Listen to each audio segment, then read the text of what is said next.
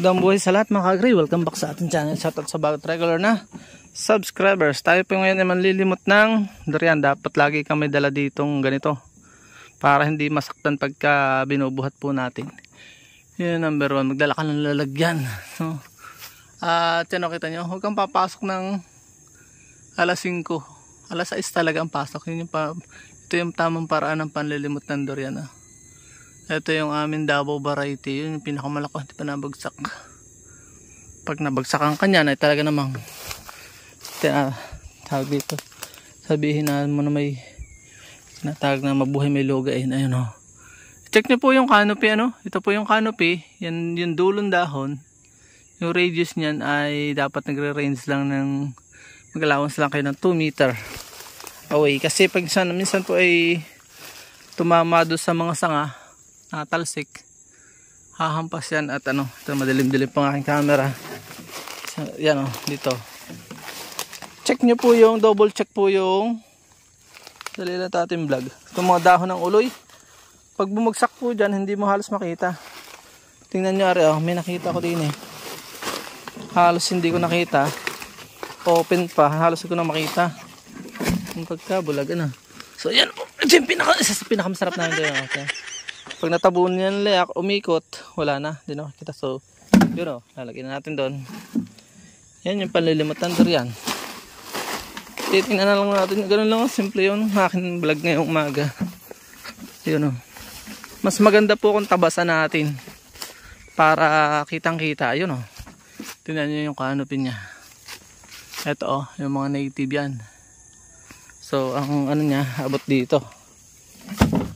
Yun o may isa doon sa magnolia may tatlo pa po akong lilimutin yun o meron na tayong dalawa hindi na bukya unahin nyo po yung mga nasa labas ng bakod para sigurado tayong hindi mananakaw no? sayang din naman no? pag mga lugar na nakawin may ibang ginagawa tinatalian pero delikado po yun, may namatay na sa amin. Sa kadamutan, hindi naman sa kadamutan eh. Pinaghirapan mo yun eh. Ganda ng duko oh. Yan ang dami. Dami sa taas. Oh. Gandang mamumang duko. Laking pagkitaan din yan. Kasama ng pasyal po din eh. Yan oh. Oh ha, daming duko. Isang araw tayo magbablog po tungkol po diyan. Kukunti na po itong aking mga Ari, isa na. Ito dito, marami pa sa ano natin dito. Paigsi na ng paigsi ang ating mga vlog. Malaga may matutunan po kayo. Inspection pong mabuti, lahat. Bawat area. Yan o. Ito yun. Ito yun, may malaki. Yun o may mga tuyo ang dulo. Kaya nakakapanghina din. Ito ang bigat nito. Ito yung anak na nun. Ito na. Yan o oh. laki. Babalikan ko mamaya sa dadaan. Yan. Okay meron pa din eh. Doon sa Magnolia. Punta ng Magnolia ito mga kagre sa panaming masarap oh. Tingnan niyo itong sinasabi ko. Oh, pag natabunan oh. Ha? Camouflage na hindi mo na makita kung tut, ano yan, durian oh. Sa durian po yan. Maliliit na oh. Kakainin na lang namin itong maliliit na sarap to. Ito po yung chaniwari kung tawagin namin. Na ano, ito nyo yung canopy. Ito yung canopy. Ito yung dulong dahon sa baba allowance ka lang ng mga dalawang metro. May natalsik pa dyan. Ano. check nyo rin po yung mga sanga ng mga kahoy sa tabi. So apat pala ito oh. ano. ah, yan, halos matabunan ng dahon. So yun. Itatabi ko muna ito dito. Ako yun oh. Tingnan may nabulok pa. Kasi hindi nakita. Sayang naman. Ito kaya na ito Meron akong apat dito nakuha. Hindi kakainin ko na lang. Sarap po ito eh. Punta tayo sa Magnolia. Bago mo i-travel, kailangan din nyo po malaman yung pagkakamada. Kailangan mapag-apat nyo yan o tatlo. You know, kailangan ay sigo siya. Dahil sayang naman yung lakad mo. Oh. Di ba? Yan, ganyan oh. May, may natutunan na po kayo sa vlog na ito ngayong umaga. Yan. Kakamada natin yan. Para magsigo siya. Oh. Yan, pwede na yan. Bubuhatin ko na. Pupunta tayo sa Magnolia. Kung talagang makulit po kayo at gusto nyong pasukin yung inyong durianan dahil nga ninanakaw sa madaling araw, baka maunahan kayo, ay sigurado mag-helmet na kayo dahil sigurado ako mas mahal ang ulo natin kaysa sa durian. Kaya protektahan din natin natin ulo. Actually hindi ko naman ito ginagawa sa amin kaya lang pinakita ko sa inyo. Pwede rin siyang option. Ang siguraduhin nyo lang ay meron din protection yung inyong likod dahil siguradong lugain kayo o baka 50-50 pagka napataka ng isa. Pwede nyo po itong gawin sa panlilimot ng durian. Ano po? Minsan kung walang helmet yung kaing ng kalamansi kaing sinusuklob.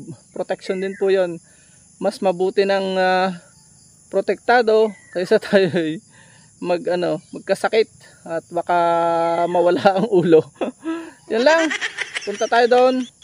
Kahit pa ibang mga technique na ginagawa ko. So yan, magandang umaga na po muli.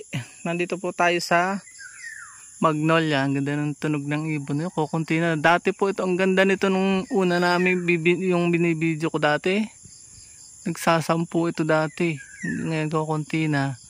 At ano kailangan nating uh, pandawin. May bakod naman to kaya hindi siya nawawala. Ano sa panlilimot po ng yan oh. ay panghuli kong gustong ituro ay no, kailangan natin ng linisan siya. Kasi nililinisan po yan. Hinawalisan yung mga layak. Yan, ito may layak o tatanggalin po yan walis pong ginagamit namin dyan. O matitilos na kahoy. Tapos kalimutan ko sabihin magbuta po kayo suot po kayo ng buta protection. Yung isang um, board sa helmet. Dahil minsan may mga kahoy na nakakatasak ay delikado. Minsan po ay may sawa mga cobra matatapakan mo. Mas mabuti na ang sigurado kaysa sa siguro. Dadalhin ko muna itatago ko muna sa isang sulok. Yun po. At tapos po isosort po yan. May sorting process na ginagawa tayo.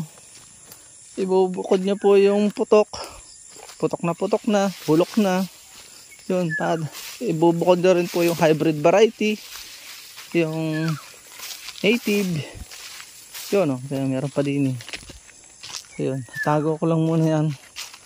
Sabi ko kunin yan bukas ng tatay ko. Itago po sa ano. Itago nyo sa humid na area katulad na rin. Huwag nyo po itatago sa bahay o sa mainit. Dahil puputok yan. Within 3 to 5 days. Yan o. Yung trial ko po ay max average po ng 4 days. Ayan, kata nyo daming layak o. Oh. Ay kuha na siya. Yun. Yan, yung mga nakasangat minsan, oh, ganyan. Nakasangat. Minsan ay nakasampit sa dito sa mga sanga. Tingnan nyo po mabuti yung mga paligid. Sa mga puno-puno at baka nakasampit. Mabubulok. Sayang naman malibanan ka ng isa ay malaking pera na agad yun. Yan o. Oh. Yun palambin po na isa bago tayo magtapos. Huwag niyo po sana skip ang mga ads natin. Dahil nga may nagdadagdag po tayo ng mission hindi na rin tayo na bata hindi naman natin madadala sa hukay ang kabilang buhay ang ano perang yan. Pamimigay natin yan. Mas masarap po mamigay mga kagre kaysa sa tumanggap. Higit na pinagpala yung mamigay. So bigyan nyo na po sa ating kababayan yung pag hindi pag skip ng ads doon po tayo kukuha ng revenue. Mamimigay po tayo. Dadagdagan natin yung mga pinamimigay natin. Kunti lang nabibigyan natin. Po sabi ko nga makasalary lang tayo ng milyon-milyon katulad ng mga sikat diyang vlogger. Eh, ang dami na natin natulungan. Yung 3,000 pesos eh malaking bagay na. Yung 1,000 yung pa kayang milyon-milyon. So yun lang po pag sana escape. Baka may nalimutan pa po ako. Ah. sa susunod na lang po natin vlog babanggitin na. Follow nyo lang po at subscribe. Hit nyo po yung bell ay ma-update po kayo. I-click nyo lang yung playlist natin na fruit bearing trees. Marami tayong tinuturo diyan. Po wala na yata dito. Nililiban ko pa sa bako dito eh kukunti na po talaga. Yan o kita yung tayog niya no? Maano yan na 70 peraso yung ganyang kalaki. Pero hindi pa namin dinanas. Sabi nung iba kayang maka 70 yun lang paalam. Baka tayo mapahaba. Ganyan lang po ang pang pamumulot ng durian so nakaapat lang ako ngayon ako sa hybrid variety ano so yun paalam mo na po hanggang sa muli please support all Filipino vloggers pakita natin sa mundo na nagkakaisang lahing Filipino. Ma-area po ako mamaya after this. Paalam mo na po. Bye-bye po. At dyan po, nagtatapos ang munti natin vlog. Nawa po kayo nag-enjoy at may natutunan kahit konti mula sa inyong lingkod. Kung mahilig po kayo sa mga ganitong klaseng uploads at bago pa lang po kayo sa aming channel, wag na po kayo mahiyang mag-subscribe at i-hit nyo na po yung bell para updated po kayo sakaling may bago po tayong mga uploads. Magkita-kits po tayo sa susunod po natin mga vlogs. God bless you all. Mabuhay. God bless the Philippines. Bye-bye po muna.